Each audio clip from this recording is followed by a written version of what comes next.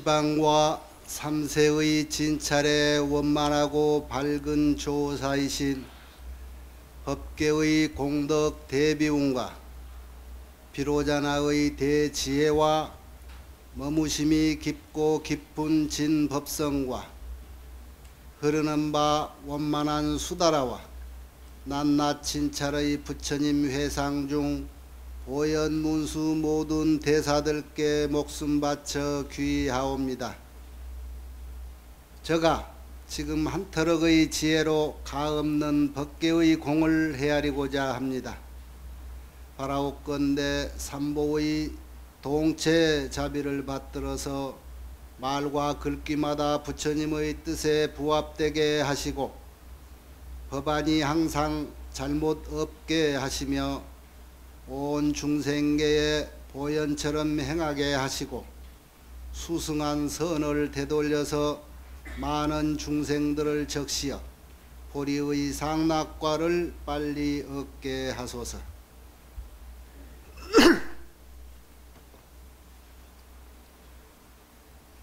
음, 지난 한 두 달, 음, 역 10지품 마지막 제10 법운지 에, 할 차례인데 날짜 변경으로 내가 교재를 안 나갔죠.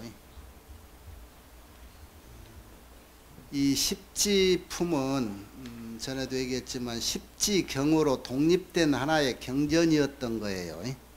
그런데 거기다가 화엄경에 39품에 넣어가지고 어, 화엄경 십지품이라 해서 이제 경의 내용에 포함을 시켰는데 오늘의 제10 음, 법운지 법운지는 어, 여러분 이화 환경이 어려워서 교재 얘기하면은 딱딱하고 음, 그래서 내가 간추려서 이렇게 설명을 하는데도 돌아서면 다 잊어먹고 그러죠. 오늘 또 기억해낼라 하지 말고 내 얘기만 들어야 될 것 같아. 에, 공부하는 단계가 발심해서 이렇게 부처님 되겠다라고 해서 마음을 내서 이제 공부하면은 첫째 부처님 말씀을 믿고 따르는 것 그것을 이제 믿을 진짜 신위라고 해서 믿는 지라 그것을 이 환경은 계속 열 가지 열 가지를 이렇게 얘기했어요. 켜진 거예요? 어. 그 열이라는 숫자는 음, 불교에서는 항상 만 가득 찰 만자 그 이상도 많이 있는데 열이라는 것은 마지막 가득 찬 숫자를 이렇게 표현해서 더 말할 수 있지만 이 열 번째로 줄인다 이런 뜻이야. 음. 그래서 십신이 십주, 십행, 십회양 그리고 마지막에 십지 그런데 십지부터는 초지, 이지, 이러지 에, 성인의 지라 그랬죠. 에, 성인의 지인데 그 성인의 지에 다 갔어도 항상 아, 다음 단계로 다음 단계로 좀 더 노력해서 오르고 오르고 해서 어, 제8, 제9, 제10지에 가면은 음, 제1, 제8 부동지 정도 가면은 더 이상 불태전의 지이다 그래서 물러나지는 않고 음, 앞으로 전진만 있을 뿐이다 그랬죠. 그래 그때부터는 공부가 이제 거의 다 된 거예요. 다 돼서 무공용이라 내가 일부러 힘써서 노력하지 않아도 저절로 하는 일이 그대로 공덕이 증폭이 돼가지고 이제는 부처님이다라고 인가받는 날만 남았던 거예요. 그래서 제9선해지를 지나서 제10법운지 이름이 법법자 구루문자 음, 법의 구름이라고 하는 이름은 에, 구름은 뭐예요? 언젠가 비를 내려주지요. 비 내려주기 위한 지위야. 그래 비 내려주는 지위다. 그래서 대법우 지위라고 그래. 큰 에, 법광면 밝은 비를 내려준다.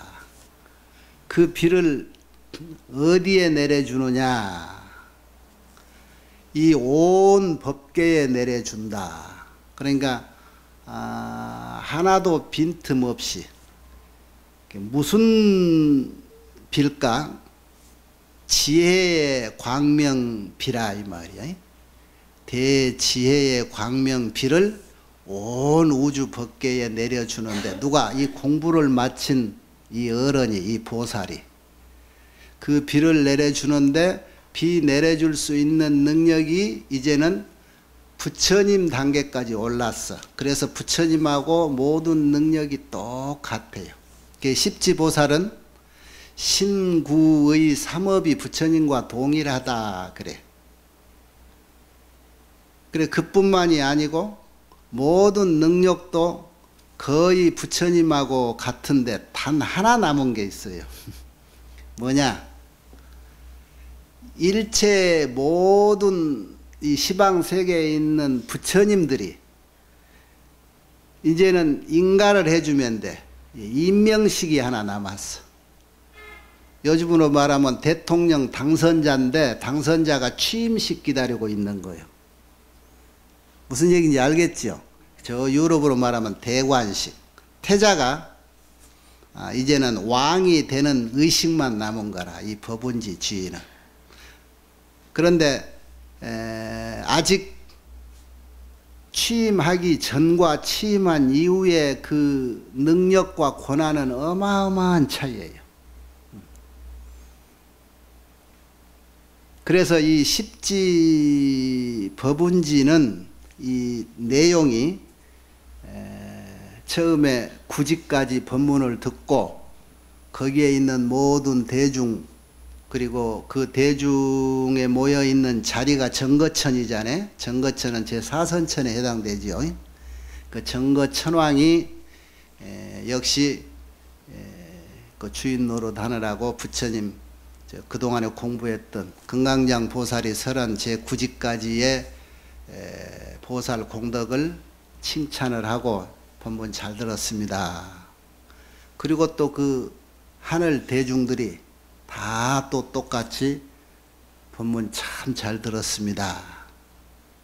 그 다음에 늘 얘기했듯이 우리 법회 하면은 가장 아름답고 어여쁜 이 바람일 합창단이라고 법문해 주십시오 하고 이라고 청법 노래를 참부하듯이 하늘나라 처녀들 아름다운 여성들이 이 노래로 똑같대. 이승과 우리가 사는 세계, 저희가 가는 저 세계는 다 똑같아요. 여러분이 이승의 생을 다해서 저승에서 얼마를 살지 아니면 장관 수척할지 육도를 윤회하는데 어디로 갈지 금년에 쌓은 원력과 공덕에 의해서 다음 세계를 가는데 거기 가도 이 똑같아.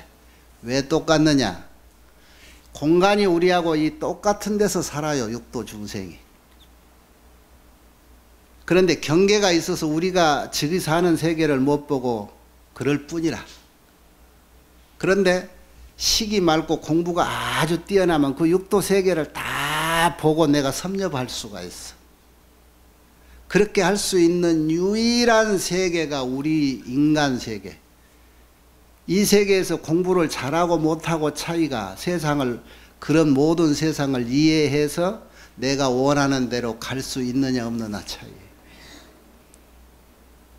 그래서 사람 몸 받는 것이 그렇게 복스럽다고 하고 우리 인간 세계 우리가 수치로 뭐 백년 안팎으로 살고 죽고 하는데 그 기간이 그렇게 소중하다고 하는 거예요.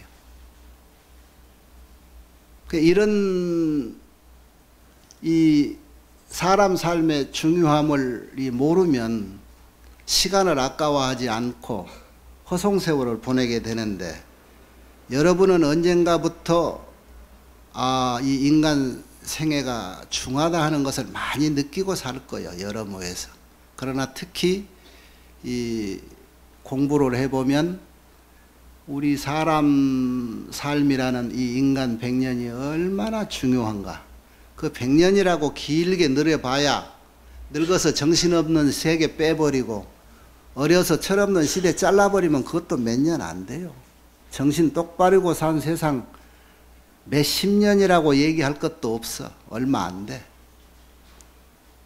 그 시간 중에서도 무슨 핑계에 해찰하고 무슨 핑계에 끌려다니고 내가 정말로 나 자신을 위해서 이 세상을 한번 고민하고 내 인생의 과거를 한번 살펴보고 미래를 점지하는 이런 그 사고의 시간이 정말 얼마 안 될 거예요. 여러분 한번 되돌려 봐요.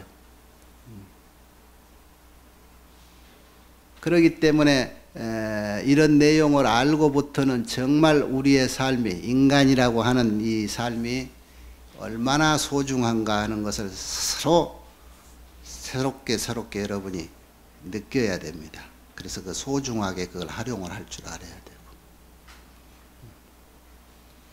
이렇게 해서 이제 전과 똑같이 에, 구집법문, 구지보살 법문까지 잘 들었습니다. 이제 우리가 준비가 잘 됐으니 칭찬 다 하고 조용히 앉았어. 여러분이 에, 법문해 줍시하고 여기 삼귀도 하고 참불가도 하고 그리고 마지막에 이제 무견이 처망이라 조용히 하면서 부처님을 우러러봐 법문해 주십시오 여러분이 마지막 입정을 하고 이제 법문들을 준비가 돼 있다. 그래 이제 대표로 어, 보살이 청을 하고 또 이어서 금강장 보살이 다음 십집 법문을 하게 됩니다.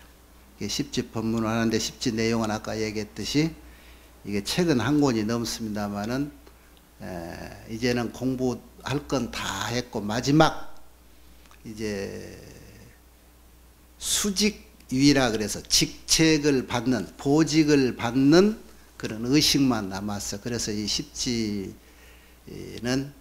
이제 모든 시방 세계 일체 보살 대중이 다 저 부처님들이 다 오셔서 또 그동안에 초지, 이지, 삼지 수행했던 모든 후배들도 다 모이고 그래서 음, 취임식을 하는 거예요.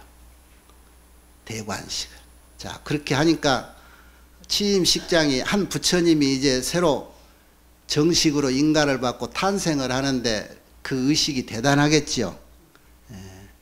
우리도 대통령 음, 새로 어, 선출해서 저 취임식 할 때는 아주 그냥 여의도에서 시방 세계에 있는 지구촌에 있는 모든 대통령들이라든가 아, 사정이 있으면 그 밑에 국무총리라든가 이 사람들이 다 오잖아요.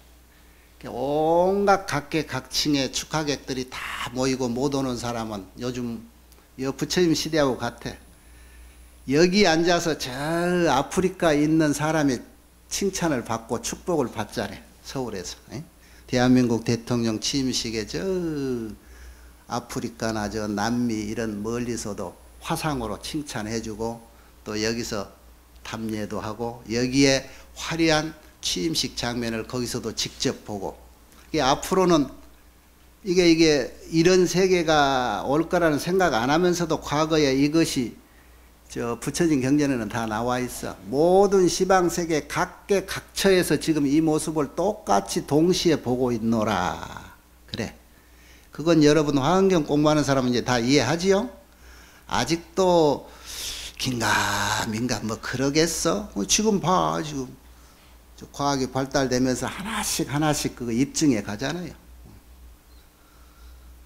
그래 이렇게 취임식을 하는데 그 장소가 이제 마련이 돼야 될 거 아니야?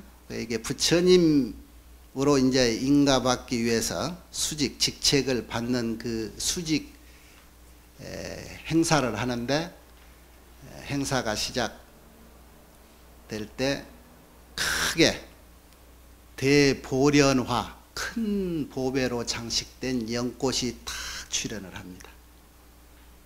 그래서 그 연꽃이 출현하는데 그 연꽃이 어떻게 생겼고 얼마마마 하느냐 그 크기가 무량이야. 우리가 보면 보, 저 끝에까지 볼 수도 없을 정도로 끝없이 큰 연꽃이 생기기는 어떻게 생겼을까? 우리가 보도 듣도 못한 보배로 줄기에서부터 이파리, 꽃술, 거기에 연밥이 있는 가운데 이런 이 장식품 하나하나가 우리가 상상할 수 없고 여태껏 희귀한 보배라고 아무리 우리가 보고 듣고 해봐도 보도 듣도 못했던 그런 아주 뛰어난 진귀한 보석으로 그렇게 꾸며져 있는 어마어마하게 큰 연꽃이 탁 출현을 하는 거예요. 그래서 오늘의 주인공인 그동안에 수행해서 아승직업 세월을 닦고 닦아서 물러서지 않고 오늘의 이제 이 자리 이 부처가 되겠다라고 하는 직책을 받는 주인공의 십지 보살이 탁그 자리에 앉아 연꽃 자리에 지금 여기 부처님 다 연화대에 앉았죠? 저렇게 연화대가 자리가 마련되고 그 자리에 부처님이 딱 앉는데 그 십지 보살이 앉는데 그렇게 어마어마한 보배로 크고 넓고 흠잡을 것 하나 없이 완벽하게 대통령 취임식 하는데 뭔가 소홀히 하는 게 하나 나 있겠어요? 어마어마하면서도 완벽하게 자리를 만들어서 그 자리에 그 주인공이 자리를 정해서 앉는데 그 자리가 딱 맞아. 조금도 모자람도 넘침이 없이 그 십지 보살 주인공에 맞게 자리가 마련될 거 아니라 부처님들과 그 정도 되는 신통력 거기에 의전 준비하는 담당들이 보통 아니겠어? 다 구지 보살, 칠지, 팔지 보살 다 된단 말이야. 그리고 부처님들이 다 지시에 모자라면 당신들 능력을 그대로 유신력을 줘가지고 우리하고 똑같이 해야 된다. 그렇게 했기 때문에 빈틈이 없는 거예요. 그렇게 해서 보려나 자리가 만들어지고 그 당대 십지 보살 주인공이 자리에 딱 앉으니까 시방 세계에 있는 모든 부처님도 다 오셨고 축하객들이 다 오고 초지, 이지, 삼지 아직 수행하고 있는 일체 모든 후배 보살들도 수행자들도 다 와서 나름대로 또 연꽃이 숱하게 만들어지면서 그 연꽃 하나하나마다 자리가 마련되고 거기에 또 다 자리를 정하고 앉았어. 중중무진으로 한번 여러분 상상을 해봐야 그 보려나 법 자리가 얼마나 빛이 나고 화려하겠는가. 이 허공 중에 끝도 가도 없는 큰 넓고 장엄한 허공 중에 그런 자리가 마련돼. 자, 그래서 이제 모든 부처님이 이제 그대 고생했노라. 이제부터는 그대도 우리의 19세, 우리 부처님 숫자에 들어간다. 그러고 숫자에 채워줘. 그래서 타제 불수라 부처님 수에 딱 떨어져 들어왔다. 그러고 인정을 해줘. 그렇게 인정을 해줄 때, 이제는 부처님이 되잖아요. 여기에 그 구경꾼들한테도 복이 와. 그때 참석한 사람들이 다 공덕의 혜택을 받아. 현실도 그러죠. 대통령 취임식이나 저 애국의 왕 대관식 때 음, 그냥반들 옛날 우리나라 임금 태자가 왕에 즉위한다든가 태자에 탄생할 때 항상 뭐가 따르지요? 포상이 따라 상을 준단 말이요. 어떤 사람한테 상을 주느냐 제일 뭐 있는 사람이 선물 하나 더 받는 것은 별거 아닌데 저 감옥소에 들어있는 죄인들을 풀어준다. 우리나라도 때때로 뭐 강복절에도 또는 무슨 성탄절에도 이렇게 풀어주지요. 취임식 때 제일 많이 풀어주는 거야. 왜? 그 공덕으로 임기 동안 음? 대통령 노릇 참 나라 국민을 위해서 잘 끌어주라고 그래서 그 공덕을 베푸는 일종의 회양이에요. 역시 여기 부처님 보직을 받는 어, 이 행사에도 어, 그런 포상이 겉들어져요. 그래서 어떤 식으로 그 죄인들이 풀려나느냐. 그 죄인이라 해봐야 다른 죄인이 아니고 죄 짓고 고통받는 중생들이 그 고통에서 벗어나는 해탈을 얻게 돼. 그래서 어, 이런 형식이 펴지지요. 그 주인공 된 십지 보살이 부처님의 위실력과 가피를 모두 한 몸에 받아서 똑같은 부처님 능력을 발휘하는데 에, 모든 이 부처님 법은 광명으로 법을 설하고 광명으로 인정을 하고 그래 빛으로. 그래서 발바닥에서부터 수천 백색의 광명이 쫙 뻗어 나오지 발바닥에서 나오면서 발바닥에서 광명을 받고 제도 받는 중생들이 있는가 하면은 그 다음에 또 무릎에서 광명이 나와. 그리고 배꼽에서 광명이 나오고 겨드랑이에서 광명이 나오고 양 손에서 광명이 나오고 방광을 하고 어깨에서 방광을 하고 목덜미에서 방광을 해. 그리고 얼굴에서도 얼굴에서도 그냥 내 얼굴이 왜 이리 뜨겁나? 지금 방광하려고 지금 내 얼굴이 뜨거운가 봐. 얼굴에서도 광명이 확 퍼지고 미간에서도 마지막에 정수리 그래서 발바닥에서 나온 강명으로는 저 밑에 있는 중생들이 제도받고 그 다음에 올라오면서록 성문 영각도 다 혜택을 받아. 여기에서까지. 이게 이것도 열 가지 종류인데 이런 열, 내 몸뚱이 열 곳에서 그렇게 동시에 광명이 확 나오며 온 무량 법계의 모든 중생에게 혜택을 줘. 그렇게 기회를 줘. 여러분 몇십 년 살면서 부처님 그렇게 쏟아내는 광명 한번 받아봤죠? 아마 거의 매주 받을 거예요, 매주. 에? 그래서 여러분이 지금 이렇게 건강하게, 환하게, 근심 걱정 남보다 적게 일하고 잘 살고 있는 거예요. 에? 그런 걸 잘 모르고 그런 복을 받고 사는지를 본인들이 잘 못 느끼나 봐. 에? 그래, 너무 복을 많이 한꺼번에 자주 받다 보니까 조금 느낌이 덜 올는지는 모르나 여러분은 그런 부처님의 강명 공덕의 저 은혜를 항상 받고 있는 거예요. 그렇게 해서 이렇게 취임식을 합니다. 그럼 마지막에 시방 세계에서 온 일체 부처님들이 당신들이 또 빛을 탁 방광을 해서 똑같이 그 빛 속에서 오늘의 주인공인 이 보살을 수직 보살을 이렇게 관정에다가 머리에다가 관이라는 것은 물을 뿌려준다는 거예요. 이렇게 인정을 해줘. 대관식에는 이 왕관을 씌워주겠지. 우리나라 대통령은 이 선서로 하나 언제부턴가 뭐 성경책 얹어놓고 선서하는 것이 유행이 됐. 미국은 성경책 은 우리나라는 뭐 그거는 안 하는가 선서만 하든가. 자기는 이제 부처님들이 주신 그 은혜와 이 실력을 내가 힘을 빌려서 대한민국을 아주 잘 끌어가겠습니다. 자, 그렇게 해서 대통령을 어, 만들어 주는 사람이 대한민국은 누가 만들어 줬지요? 국민이요. 여기서 말하는 일체 시방 세계 각계 갇혀에서 이렇게 부처님을 만들어준 사람이 누구죠? 모든 일체 부처님이죠. 그 부처님이 대통령 만든 국민하고 같은 거예요. 우리 일체 모든 중생이 그 시방세계의 부처님이요. 지난번 본문 들었지요?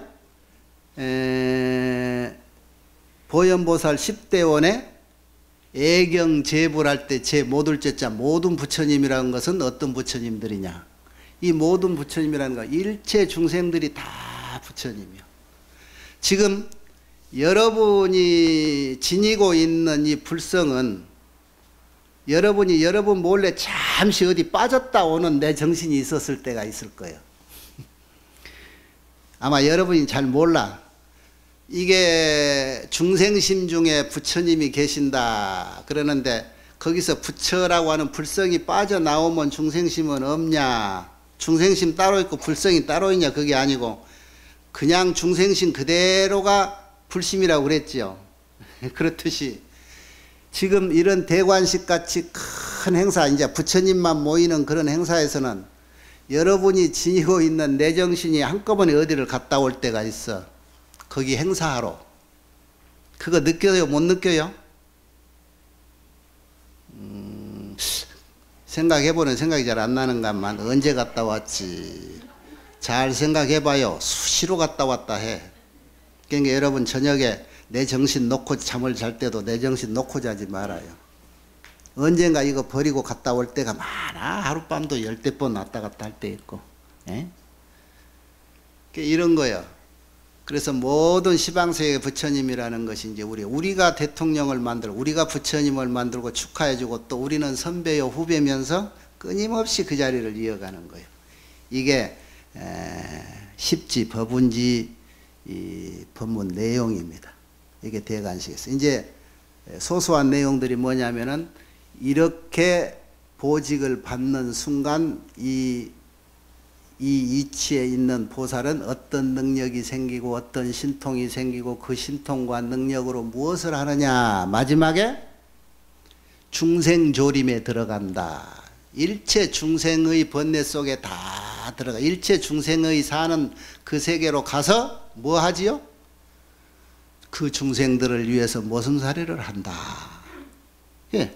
대통령이 취임식은 하려야 돼. 취임식 다음에 하는 일이 뭐야? 이 중생, 대한민국 국민을 위해서 하나하나 중요한 일을 하는 거예요. 왜? 서원이 있었잖아. 내가 부처님이 되면, 내가 대통령이 되면 이렇게 이렇게 하겠습니다. 그게 원이거든. 요즘은 공약이라고 그러던가. 그래서 그 공약대로, 그 서원대로 살아가는 거예요. 그게 부처님. 간단하지요?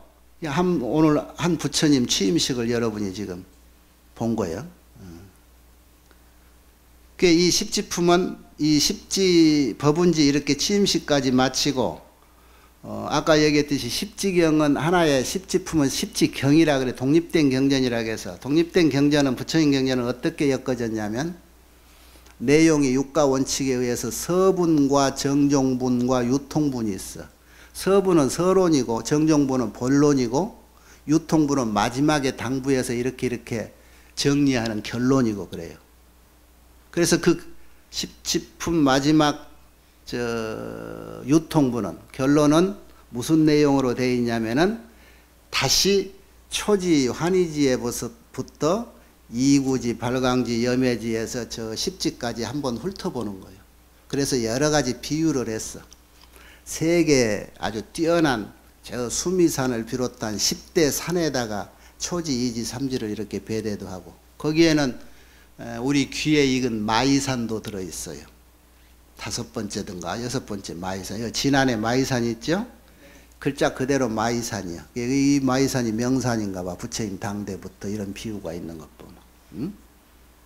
내가 지난주에 에, 요 전주 왔다가 가는 도중에 오랜만에 그 마이산을 금당사 쪽을 통과해서 아이고 사람들 걸어가는데 스님이라고 차 몰고 가니 통과시켜주대 비는 조금씩 왔었는데 마이산 전기가 아직도 많이 남아 있는가 그래서라고 좀 만져봤더니 아직 짱짱하던데 그 그런데 가면 이라고 착 기운 받아들이는 그런 느낌들 없어? 좋은 산, 좋은 공기 있고 좋은 터에 가면 막 기운들이 오잖아. 그런데 앉아서 한, 한 시간 앉아 있고 싶고 막 그러지. 마이산 아직 짱짱하더만. 우리 원행스님이 그 금당사 주지하고 그리고 총무원장 됐나 봐. 에? 기운이 좋아서. 에, 법운지가 이렇게 해서 이제 에, 보직 수직보살이라 해서 그 직책을 받는 그런 행사가 큰 연꽃이 일어남으로부터 시작돼서 맞춰줬고 그 다음에 유통분에 이제 에, 초지에서부터 십지까지 한번 또 비유를 해보는데 아까 말했듯이 각 산도 비유했지만 에, 여러분이 늘 들었더니 바다에다도 비유를 했어요. 에, 바다 열반경 같은 데는 대의 팔덕이라고 해서 여덟 가지 공덕을 얘기하는데 여기는 이제 에, 십지에 맞추느라고 십공덕을 늘려놨는데 어디 여러분 거요 인셈을 한번 봐봐요. 에, 비유를 참 어, 부처님 이 경전이라는 건 참 대단해 이거 요. 이것이 추상적인 이론이 아니고 지혜로 보는 세계이기 때문에 온 법계를 지혜로 보기 때문에 이렇게 틀림이 없이 정확해요. 바다가 이런 이 공덕이라는 것은 이런 특징이 있는 거예요. 점차 이 바다는 가에서부터 들어가면 점점 깊어진다. 그래 차제 점심이라고 그래. 점점 깊어지는데 에, 이것을 에, 십지품에서 초지 환희지에다가 비교를 했어요. 이 환희지라는 것이 최초인데 성인 위에 들어가지고 최초의 환희지는 여러분 지난 공부에 기억나는지 몰라. 이제는 진짜로 이제 부처님 동네에 왔어. 그렇죠. 불치촌에 처음 이사 들어온 것이 이제 초지였지요. 환이지. 그래서 기뻐. 기쁘다는 것은 모든 두려움이 없고 근심 걱정이 없는 거예요. 그래서 10대 원을 세우지요. 기억이 안 나. 가물가물해. 그 원이라는 것을 세워서 그걸 원을 바탕으로 노력을 점차 이렇게 하는 거야. 원은 보현 행원에 하듯이 처음에는 부처님께 귀의하고 그 다음에 그 남의 공덕을 칭찬하고 자기의 업장도 이렇게 참여하면서 점차 점차 부처님과 같이 돼가는 그런 것이 이제 10대 원. 10대 원을 구체적으로 보면 결국은 중생을 이롭게 하는 원인데 이걸 10대 원을 세우는 것이 이제 음, 제 1차로 어, 저 바다의 장점을 비교를 했고 그 다음에 두 번째는 이 바다의 장점 중에 하나가 불수사시라 죽은 시체를 받아들이지 않는다. 여기서는 에, 청정한 저 내용을 얘기해요. 십바라밀에 배대를 했었지요. 십지각에 두 번째는 뭐예요? 보시, 지계, 계율을 잘 지켜야 된다. 그래서 경전에서는 에, 처음에는 여기 대원력을 출생하는 것이다. 환희지는 비교를 했고 두 번째 이구지는 불수일체 파괴시라. 이 수행자의 시체는 뭐냐면 계율을 파괴해버리면 그때가 시체라 그래서 죽었다 그거예요. 수행자는 그때 죽은 거예요. 바다가 죽은 시체를 받아들이지 않듯이 이 십지혜 중에 제2 이구지 이구지가 뭐예요? 구자가 더러움이거든. 더러움을 벗어나는 거예요. 깨끗함을 유지하는 거예요. 청정을. 그래서 어, 깨끗함을 유지하려면 십악도가 아니라 십선업을 닦아야 돼. 그래서 어, 여러분이 지금 잊어버렸지만 이지에 그 내용이 나와요. 십선업을 닦아서 이지에 들어간다. 그 내용이 나와. 십선업을 닦기 위해서 열 가지 십심심 깊은 마음을 또 일으켜야 된다라고 그랬을 거예요. 그 십심심. 예를 들면 정직하고 고든 마음, 또 유연심, 유연한 부드러운 마음, 그리고 뭐 감능심, 잘 견디고 이기는 버티는 그런 마음. 그리고 저 뒤에 가면은 광심, 넓은 마음, 대심, 큰 마음. 이런 마음을 가지고 십선업의 도를 익혀서 제2의 제2 이구지에 들어간다. 내 아는 몇 년 전에 어떤 스님이 선배인데 사는 게 별 재미없고 공부도 진전한 것이 얼른 무엇이 표에 안 나니까 얼지, 얼른 죽어가지고 몸 바꿔서 공부하러 했던가 충무 저 어떤 앞바다에서 바다에 빠져서 죽었는데 자기가 들어가 죽었는데 꾀를 낸다고 배낭에다가 돌을 한 배낭 짊어지고 죽었어. 그 바닷물 속에서 떠밀려서 세상 사람 눈에 안 띄려고 얼른 나오기 전에 고기밥이나 대버려야지 했는 모양인데 이 바다의 특성을 잘 모르셨던가 봐. 돌아가신 지 2, 3일 후에 그냥 바다가 이 죽은 시체 안 받아요. 밀어내가지고 그냥 건져와서 초상을 치렀어, 우리가. 바다에 들어가면은 안 받아줘. 요즘 모든 필요 없는 쓰레기들 바다에 버리는데 웬만한 건 다 밀어내잖아. 여기 바다의 특성이 있는 거예요. 마치 수행하는 사람, 수행하는 도량에, 청정 도량에 파괴하는 수행자는 안 받는다. 세 번째는 뭐냐? 여수 입중에 계실 본명이라 바다에 바다에 온 천하에서 내려온 각 골짜기 물 무슨 강물이 다 무슨 미국물 인도물이 다 바다에다 들어오잖아요. 그러면 이게 들어갈 적에는 여기서 한강물이 간다, 낙동강물이 간다 그러지만 바다에 가면은 낙동강물, 한강물 따로 없어. 전부 자기 본명을 이, 저 잃어버려. 본명을 다 잃어버리는데 결국은 바다는 일미지. 에? 그런데 이것은 어떤 공부를 한 이렇게 잃어버려야 돼, 저 해야 되느냐 그러면은 삼법인이라 삼법인. 삼법인이 뭐죠? 재행무상이요 재범무와 열반 적정이잖아요. 거기에서는 일체 진리가 삼법인이 왕이요. 일체 재행은 다 무상한 거예요. 한강이니 낙동강이니 금강이니 하는 것들 바다에 들어가 버린 그 이름 하나도 없어. 무상한 거고 제법은 무아인 거야. 무아라고 하는데 해당이 돼 이름이 없어진 거예요. 나라는 것 거기 가면 한강이란 말도 없고 낙동강이란 말도 없다 이 말이에요. 너도 없고 나도 없다 이 세계에 가면. 공부는 이렇게 돼야 돼. 이해되지요? 예. 그게 이제 에, 경전에서 발광진대 세 번째가 사리 세간 가명자라 세간에서 쓰는 가짜 이름들은 다 떠난다 이 말이야.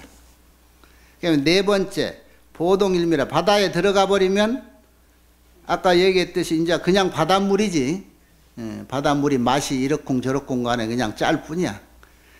저기 뭐 미국에서 흐르는 강이나 인도에서 흐르는 강이나 대한민국에서 흐르는 강물이나 다 바다에 들어가면 똑같은 동일미다. 염해지는 불공덕과 더불어 동일미라. 이 자리에 들어가면 부처님 공덕하고 같이 똑같은 한 가지 맛이다. 이렇게 비유를 했어. 그런데 여기 염해지에서는 무슨 공부를 하라고 다뤘느냐 하면 37조도품을 얘기해 놓은 것을 기억할 거예요. 37조도품, 조도, 도 닦는데 도움되는 공부. 아시죠? 그게 37가지. 사근, 사신족, 또 뭐 사념처, 오군, 오력, 육바라밀, 칠각지, 팔정도. 이게 이제 37 조도품. 그 다음에 제오 난승지, 무량진법, 바다에는 아주 많은 보배가 있어요. 요즘 뭐 그 보배 끝없이 많을 거예요. 사람들이 먹고 사는 것도 많지만은 거기에 진귀한 희귀한 보석들도 많잖아요. 근데 그것이 무량하다. 끝이 없다. 마치 공부하는데 제호 난승지라는 것이 이기기 어려운 지를 극복하는 거예요. 거기서는 무량 방편 신통이 세간에 짓는 바 일체 많은 진보를 출성, 보배를 출생하는 거하고 같다. 그래서 비유를 그렇게 해놓은 거예요. 그래서 이 제호 난승지에서는 무슨 공부를 하느냐? 고진멸도 사성제를 공부하는 거예요. 결국은 우리 공부는 고진멸도 사성제에 있어요. 고, 아, 현재는 이렇구나. 이 원인이 무엇일까? 아, 이거 이겨내야지. 어떻게 하면 이겨내느냐? 그런 거예요. 이 세상은 마음으로 온 우주 법계가 생겼다. 그런데 이것이 어떻게 받아들이면 나한테 악조건이고 어떻게 보면 아, 이 세상은 나를 위해서 생겨났고 했을까? 그건 내 맘 먹기 차이지요? 정말로 오늘 이 순간이 나는 정말 싫다 할 때는 이 세상이 싫은 거고 와 지금 이 순간은 세상이 나를 위해서 생긴 것 같다 하는 사람이 있을 거예요. 그건 이 세상이 나한테 이로운 거 그러지. 이런 차이. 이래서 이 세상은 다 내 마음 먹기인데 이 세상의 존재라 이 세상을 법계라고 그랬죠. 이 법계라는 게 뭐예요? 일체 만유가 만유라는 게 온갖 것이야. 이 세상에 존재하는 이 모든 것들은 다 낱낱 자기의 법이 있어. 자성이 있어. 나무면 나무, 돌이면 돌, 나무도 참나무, 밤나무, 돌도 큰 돌, 작은 돌, 자갈, 모래 다 있잖아요. 이런 것들이 각자의 자기 자성을 가지고 자기 영역을 지켜가면서 조화를 이루어 맞춰 가는 것이 이 세상이에요. 그게 법계예요. 여러분은 그 가운데 어디요? 여러분 개개인의 나의 영역은 어디지? 그 영역을 잘 나 나름대로 내 법이 있어 내 자성을 가지고 지켜내는 것 그것이 법계의 한 역할이에요. 그러면서 무장에 걸림이 없어 다툼이 없단 말이에요. 다 산에 가봐요. 저것끼리 다투는 가. 저것끼리 다투서 필요 없는 놈은요. 서로 부딪혀가지고 부러지기도 하고 불이 나가지고 없어지기도 하고 그래. 저들끼리. 자연 그대로 조화롭게 이루어지는 거예요. 바다도 마찬가지 바다도. 음. 이렇게 무량한 진보가 있는데 음, 이것이 제5 난승지에다 비교한 거고 그 다음에 여섯 번째 무능지저라 여러분 여러분 아무리 과학이 지금 뛰어나서도 능히 저 바다 바닥에 가본 사람 없어. 지금 현대 과학이. 바다가 그만큼 깊어 끝이 없다 소리 요즘 뭐 과학이 굉장한 것 같아도 저 바닷속 산은 제일 높은 에베레스트 저 봉우리 올라간 사람 많지요. 바다의 제일 깊은 밑바닥은 아직 인간이 가보지를 못했어요. 아직 몰라. 먼 미래에는 갈 수 있을란가. 음. 근데 이 부처님이 이라고 사람이 능히 저 바닥까지는 못 간다 그런 거 보니까 아마 못 갈 것 같아. 이거는 에, 현전지인데 그 깊고 깊은 그 이치를 잘 관찰해야 돼. 무슨 이치냐? 인연의 이치. 그래서 여기에서는 12연기법을 얘기했을 거예요. 여러분 기억하면. 12인연을 잘 관찰해. 그래서 도를 이루면 뭐가 돼요? 부처님이 되는 거예요.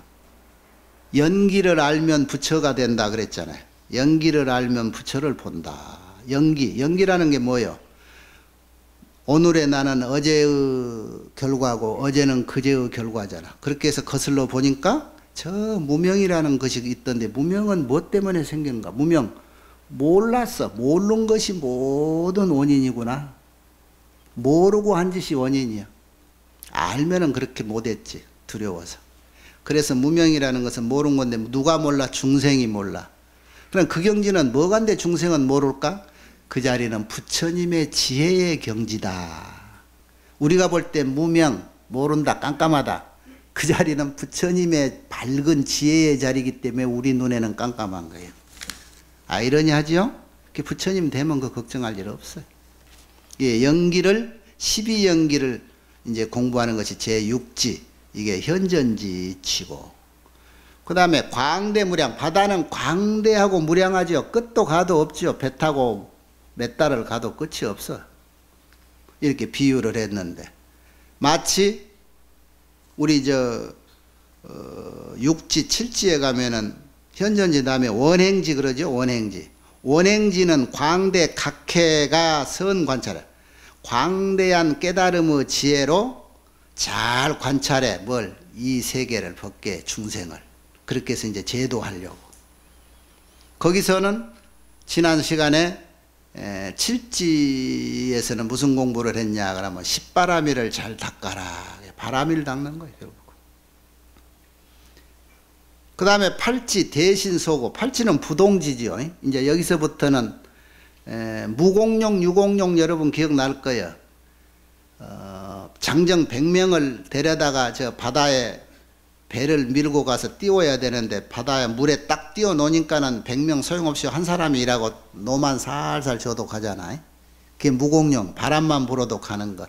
힘쓸 일이 없이 저절로 공덕이 증폭돼서 그때부터는 부처님 될 때까지는 걱정을 안 해도 돼. 순서만 오면은 아까와 같은 수직 보살이 돼. 직책을 받는 지위가 된다는 말. 이게 이제 에, 제8지 부동지인데 이 부동지에는 에, 광대 장엄사라 그랬듯이 이 여러분 지상에 큰 짐승이 살까 바다에 큰 짐승이 살까 어떤 게 제일 큰 놈이 사는 데는 어딜 것 같아요? 대신 소고라가 나는 게 바다에는 우리가 상상할 수 없는 큰 짐승이 산대요. 고래도 코끼리보다 크지요. 예, 고래 큰 놈하고 코끼리 큰 놈하고 비교하면 고래 큰 놈이 큰 것 같대. 그것만 봐도 큰 짐승은 바다에 사나 봐. 바다가 넓으니까. 새우가 제일 크나? 바다가 좁아서 구부리고 살게? 여기서는 우리가 부동지 공부에서는 무슨 공부를 했냐면은 어, 이 무생법인이라는 무생법인 일대는 절대는 생멸이 없는 그런 공부를 한 거예요. 생멸이 없는 세계에 태어나면 이제 이제 공부 끝난 거 아니야? 음. 에, 그냥 얘기 법문은 재미있을지 몰라도 이 공부를 이렇게 체계적으로 하는 사람을 위해서 내가 이거 하나하나 지금 해주는 겁니다. 음. 몇 분들은 늘 이걸 지금 지난 두 달을 교재를 안 했더니 서운해가지고 지금 답답해 하던데. 무생법인을 공부했을 때고 그 다음에 구지. 구지는 선해지지요. 선해지는 심해탈을 얻어. 이 정도 되면 이제 해탈이 되는 거예요. 그래서 세간을 행하되 여실히 세상사를 다 아는데 과한을 지나지 않, 즉 항상 지나치지를 않는다. 조불과한이라는 것은 에, 때를 놓치지 않고 이 뭐 저 저 저 바닷물이 우리나라로 말하면 살이 그러죠 살이 예. 바닷물이 들어올 때 나갈 때 요것을 말하는 거예요. 요것을 잘 맞춰두듯이 에, 여러분 구지에서는 무슨 공부했죠? 제 구지 선해지 공부를 잘 하면은 뭐가 돼서 대법사가 된다 그랬잖아요. 대법사는 이렇게 법문 잘하고 공부 잘해서 여러 사람에게 이렇게 부처님 법을 이렇게 홍보하는 그런 능력이 뛰어난 사람을 대법사라고 하는데 그런 대법사에게는 무슨 능력이 있어야 되느냐? 이 언변이 있어야 되잖아. 그래서 사무의 무변사라 그래. 이 네 가지 걸림이 없는 이 변제가 있어야 돼. 법, 의, 사, 그 다음에 아름답고 재밌는 말 잘하는 요설, 그러죠? 법은 주관이고 의는 객관인데 이 모든 경계, 근기들을 잘 살필 줄도 알아야 되고 법이라고 하는 그 당체, 법의 이치를 깨달아서 알아야 되고 그 법을 알아서 그 법을 전달해 줄 상대의 경계, 중생의 근기를 잘 살필 줄 아는 것도 대법사의 능력이고 그러고 나서 사, 말씀 사자, 이 사가 무해해야 된다. 사무해라는 것은 말을 청산유수로 탁탁 그냥 남 알아듣지 못하는 소리로 지 혼자씩 그저 떠드는 소리는 건 청산유수가 아니고 근기에 맞는 사람한테 맞춰서 딱딱 어쩌면 내 귀에 쏙쏙 들어옵니까 하듯이 그냥 착착 맞춰서 해주는 게 사무예배. 그 다음에 이제 요설 즐거울 낙자 쓰고 이것은 뭐냐면 사람들이 법문은 좋은 법문은 들어도 들어도 똑같은 말 들어도 재미지고 지루하지 않고 하는 것. 중간에 끊기지 않고 간단히 없고. 응? 내 법문이 그래요 안 그래요? 안 그래?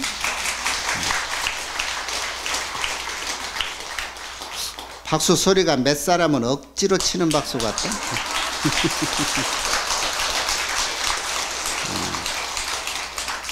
이 그러니까 법사도 이 조수 관계 같이 이렇게 지나치면 안 돼.